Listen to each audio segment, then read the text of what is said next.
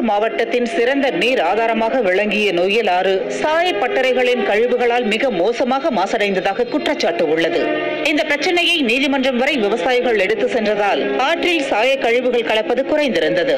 இந்நிலையில் நேற்று பெய்த கனமழையால் வறண்டு கிடந்த நொய்யல் ஆற்றில் வெள்ளப்பெருக்கு ஏற்பட்டது.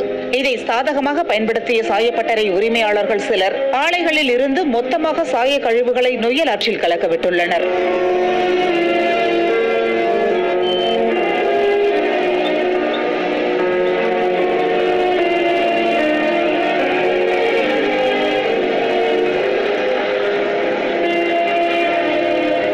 நீண்ட நாட்களுக்கு பிறகு நொய்யலாற்றில் நீரை பார்த்த பொதுமக்கள் அது சாய கழிவுகளுடனும் ரசாயன பொருட்களால் நுரை பொங்கிய நிலையிலும் வருவதைக் கண்டு வேதனையடைந்தனர் மழையால் கிடைத்த நீரையும் பயன்படுத்த முடியாத நிலை ஏற்பட்டுள்ளதாக கூறிய அவர்கள் இது குறித்து அதிகாரிகள் உரிய நடவடிக்கை எடுக்க வேண்டும்